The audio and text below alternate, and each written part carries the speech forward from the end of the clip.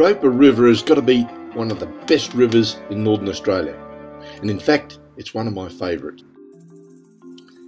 During the wet season, you've got to be a bit careful. I can tell you, I've had plenty of experience getting vehicles into and out of trouble.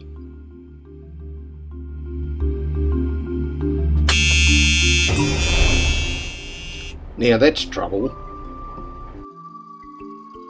I say nothing. I've always worked off the idea and the principle that anyone can be a grub in the bush. It's not hard. So I've made a real effort to have some really good camps at times and it's worked out pretty well.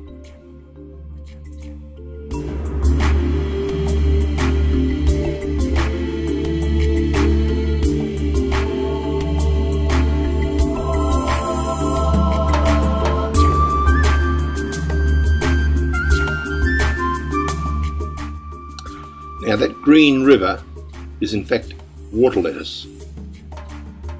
That's a buffalo.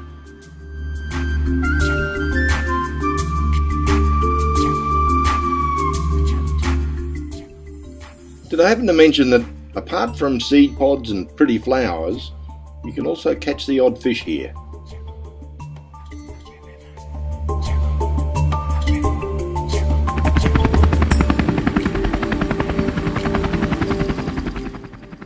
Let me take you for a chopper ride all the way across from the Northern Territory over to the Kimberley. And what you're about to see is a waterfall that goes right off the plateau, dumping right down into the ocean. There it is. And coming up, there's a photograph of the Cooktown Museum, and that's got nothing to do with anything. That'll be the phone. See ya.